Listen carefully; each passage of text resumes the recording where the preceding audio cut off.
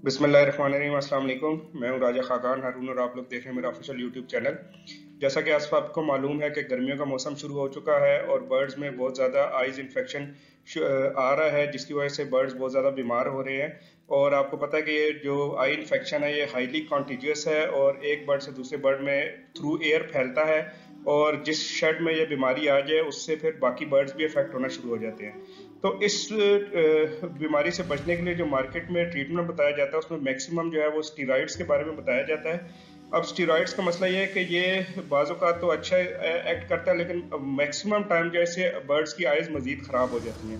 तो मैंने सोचा कि इस हवाले से आप लोग को एक अवेयरनेस वीडियो बताई जाए और स्टीराइड्स के के बारे में जो है आपको थोड़ी सी आगाही दी जाए, ताकि आप लोग को आइडिया हो कि स्टीराइड्स को कभी भी स्टार्ट में बर्ड्स की आइज़ पे यूज़ नहीं करना चाहिए। दूसरी चीज़ ये है कि जो लोग जो है स्टीरॉयड यूज़ करते हैं, उसके बाद जो है बर्ड्स के को वापस जो है रिवर्सल कोई नहीं होता। जब आई बहुत ज़्यादा ख़राब हो जाती है, फिर या तो उसकी सर्जरी होती है और अगर वो सर्जरी ना कर सकते तो या तो आँख ज़ाया हो जाती है और इसके बाद बर्ड एक्सपायर भी हो जाता है। तो चलते हैं अपनी वीडियो का आगाज़ करते हैं एक पॉइंट में और आपको बता दूँ कि इस वीडियो में मैं आपको बिल्कुल बीमारियों के बारे में नहीं बता रहा कि किस किस्म की आई का इन्फेक्शन जो है उसमें किस किस्म की मेडिकेशन दी, दी जाए या आइस के इन्फेक्शन को आइडेंटिफाई कैसे किया जाए कि कौन किस तरह जो है कौन सी बीमारी जो है वो आँख में आई हुई है। ये सिर्फ़ एक अवेयरनेस वीडियो है जिसमें मैं स्टीरॉयड्स के यूज़ के बारे में स्टीरॉयड्स की टाइप्स के बारे में और उसके जो साइड इफेक्ट्स है उसके बारे में आपको बताऊँगा। अच्छा स्टीरॉयड्स को जो वर्ल्ड वाइड क्लासिफाई किया जाता है, वो तीन बेसिक टाइप्स हैं। उनमें से जो है, एक है शॉर्ट एक्टिंग है एक इंटरमीडिएट है और एक लॉन्ग एक्टिंग है। बेसिकली ये जितनी देर जो है स्टीरॉयड किसी आँख पे इफ़ेक्ट कर का इफ़ेक्ट रहता है, उसकी बेस बेस पर क्लासीफाई किया है। जो शॉर्ट एक्टिंग है उसमें कॉर्टिसोन हाइड्रोकॉर्टिसोन है, जो इंटरमीडिएट है उसमें प्रेडनिसलोन मिथाइल प्रेडनिसलोन है और लॉन्ग एक्टिंग में डेक्सामिथासोन बीटामिथासोन है। अच्छा ये मैं सॉल्ट्स के बारे में आपको बता रहा हूँ मैं जो जिस नाम से ये जो है मेडिकेशन आती है उसके बारे में आपको नहीं बता रहा। जिस तरह डेक्सामिथासोन जो है टोबरा डेक्स में पाया जाता है बेटनिसोलाइन में बीटा मेथासोन पाया जाता है। ठीक है? तो मैं आपके साथ जो है प्रोडक्ट नेम शेयर नहीं कर रहा, बल्कि शॉर्ट नेम जो है आपको बता रहा हूँ। मजीद भी स्टेरॉइड को जो है और भी अगर और फर्दर क्लासीफाई किया जाए तो चार और टाइप्स है जिसमें इसकी फर्दर और कैटेगराइजेशन हो, होती है। लेकिन क्योंकि ये एक मेडिकल की जो है वीडियो नहीं है बल्कि एक अवेयरनेस की वीडियो है इसलिए मैं आपको मोटी मोटी चीज़ों के बारे में बता रहा हूँ। और क्योंकि जो है सिर्फ़ यही कुछ टाइप्स हैं स्टीराइड्स की जो अमूमन बर्ड इंडस्ट्री में यूज़ होती है तो मैंने सोचा कि इन्हीं के बारे में आप लोग को बताया जाए। अच्छा स्टीराइड्स का प्रॉब्लम क्या है? मतलब स्टीराइड्स यूज़ करने के बाद बर्ड की आँख क्यों खराब हो जाती है? ये बड़ा एक नॉर्मल सा क्वेश्चन है जो हर बंदे के जहन में आता है। एक्चुअली होता यह है कि जब भी किसी बर्ड की आँख में कोई बैक्टीरियल इन्फेक्शन होता है तो स्टीरॉयड का यूज़ करने से जो बॉडी के अंदर नेचुरल इम्यूनिटी सिस्टम होता है, जो उस बैक्टीरिया से फाइट कर रहा होता है जो स्टीरॉयड जब आप उस पर डालते हैं तो वो उसको सप्रेस कर देता है। जो नेचुरली जो आपने, जो इम्यूनिटी होती है, वो उस बैक्टीरिया से फाइट करने के लिए वो खत्म हो जाती है, जिसकी वजह से जो बैक्टीरिया उसको और रूम मिलता है और वो एग्जेजरेट होकर मजीद फैलना शुरू हो जाता है, ठीक है? तो इस वजह से जो है डॉक्टर्स भी अमूमन जो है मना करते हैं कि जब भी इंफेक्शन हो आपने स्टीरॉयड यूज़ नहीं करना। स्टीरॉयड तब यूज़ किया जाता है जब आँख में जो है सोजन हो पेन हो, इस तरह की कोई कंडीशन हो तो उस केस में स्टेरॉइड्स यूज़ करवाए जाते हैं, लेकिन वो भी किसी ना किसी एंटीबायोटिक के साथ अटैच करके। सिंगल हैंडेडली स्टेरॉइड्स का यूज़ मना किया जाता है। और इसके अलावा जो है आपके सामने ये मैं कुछ पिक्चर्स भी लेके आया हूँ। ये आप देख सकते हैं कि जब आप स्टीरॉयड यूज़ करते हैं तो उसके साइड इफ़ेक्ट की के नतीजे में आपके पास जो है बर्ड्स की आँख में मोतिया आ जाता है ग्लूकोमा हो जाता है। ग्लूकोमा बेसिकली काला मोतिया को कहते हैं, आँखों में रेडनेस आ जाती है। फिर उसके बाद जो है ये एक ट्रीजियम लेयर होती है, ये ग्रो कर जाती है। फिर उसके अलावा जो है, इसी जगह पे कॉर्निया के ऊपर को फैट के व्हाइट कलर के डिपॉजिट्स आ जाते हैं। जब इस तरह की कंडीशन हो जाए तो फिर जो है, यहाँ पे बहुत कम ऐसे वेटनेरियन हैं जो इसको सर्जरी के थ्रू रिमूव कर सकें। नहीं तो अल्टीमेटली बर्ड की आँख ज़ाया हो जाती है। और आपने ये भी देखा होगा कि जब आप बहुत ज़्यादा स्टीराइड्स यूज़ करते हैं तो उसके बाद जो है, अगर जिस आँख में बर्ड की मसला है, उस साइड से आप बर्ड को हाथ छात हिलाएँ तो बर्ड को फील नहीं होता। मतलब उसकी नज़र चली जाती है। तो इसीलिए जो है मैं बार बार ये लोगों को कहता हूँ कि स्टीरॉइड्स को कभी भी स्टार्ट में यूज़ ना किया करें, क्योंकि इसके बाद आपके पास और कोई ट्रीटमेंट नहीं बचता कि आप बर्ड की आँख को ठीक कर सके। अच्छा अब जो एक चीज़ और मैंने आपको बतानी थी कि जब भी बर्ड को बैक्टीरियल इन्फेक्शन होगा तो तब आपने जितने ये ड्रॉप्स यूज़ होते हैं मार्केट में जो है एंटी बैक्टीरियल उससे इफ़ेक्ट पड़ेगा। उसके अलावा अगर कोई प्रॉब्लम है वायरल इन्फेक्शन है एलर्जी है किसी चीज़ से फंगल इन्फेक्शन है तो ये ड्रॉप्स कभी भी जो है, उस पर रिज़ल्ट नहीं आएगा। लाइक like अगर बर्ड की आँख में पॉक्स हो गया है तो आप लोग उसमें जो है, अगर ये एंटी बैक्टीरियल ड्रॉप्स डालेंगे तो कभी भी उससे रिज़ल्ट नहीं आएगा इवन स्टीरॉयड डालेंगे तो वो मजीद जो है वर्स हो जाएगी और बर्ड जो है डेफिनेटली जो एक्सपायर होगा।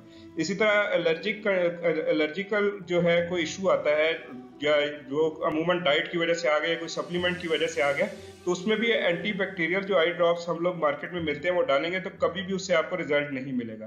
तीसरा जो केस है, वो फंगल आई इन्फेक्शन है, वो भी बहुत रेयर होता है बर्ड्स में, ठीक है, लेकिन वो भी जब अगर आप इन मेडिकेशन के साथ जो है इसको ट्रीट करना चाहेंगे तो कभी भी आपको रिज़ल्ट नहीं मिलेगा और अल्टीमेटली बर्ड एक्सपायर हो जाएगा।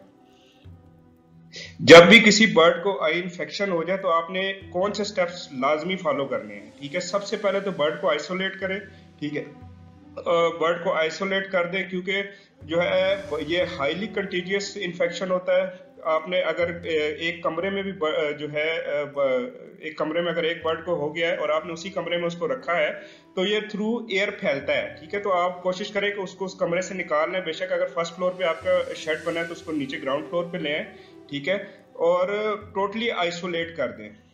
दूसरा काम आपने ये करना है कि जो आपके पास एंटीसेप्टिक एंटीबैक्टीरियल कोई भी स्प्रे पड़ा है विरकॉनेस हो गया ब्रोमोसेप्ट हो गया, उससे पूरे शर्ट को लाजमी स्प्रे करें बर्ड्स को स्प्रे करें बॉक्सेस को करें पॉट्स को करें, अच्छी तरह स्प्रे करें और अल्टरनेट जो है डेज़ पे या हर दूसरे तीसरे दिन कम अज कम ये प्रैक्टिस दो वीक्स आपने लाजमी करनी है।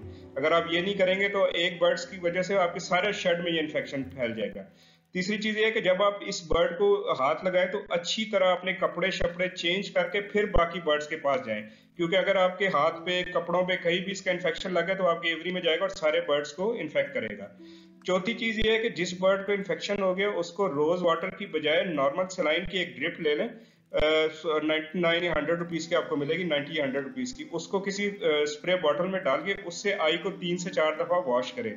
क्योंकि जो ये नॉर्मल सलाइन होता है, इसमें थोड़ा सा नमक का पाया जाता है, जिसकी वजह से जो है ना, आँख बड़ी अच्छी तरह साफ़ हो जाती है। ये रोज वाटर की जो बातें है कि रोज वाटर से आँख का इन्फेक्शन दूर हो जाता है, ये सिर्फ़ मिथ है, ठीक है? इसमें कोई बात हकीकत नहीं है।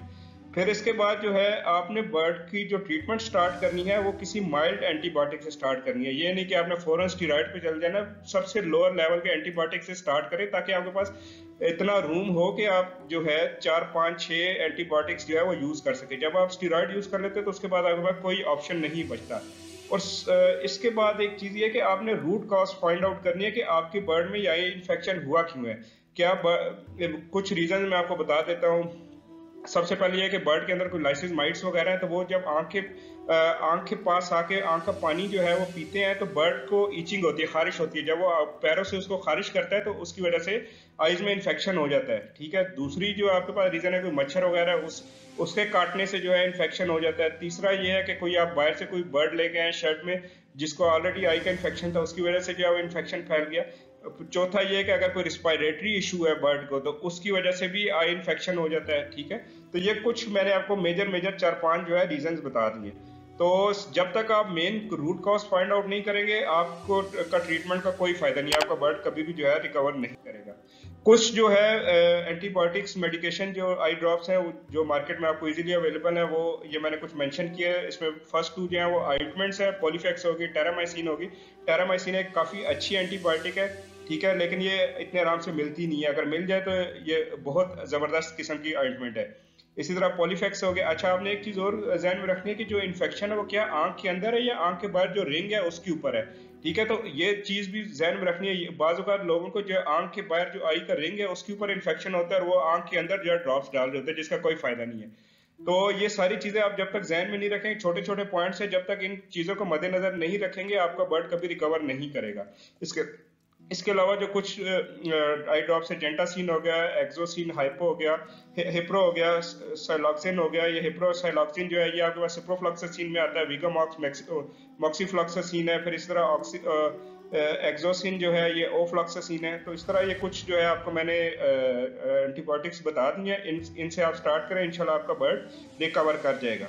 अगर ये मेरी वीडियो आपको पसंद आई है तो काइंडली इसको चैनल को सब्सक्राइब करो और अपने सर्कल में शेयर भी ज़रूर कीजिएगा। आज के लिए इतना ही। थैंक यू अल्लाह हाफिज़।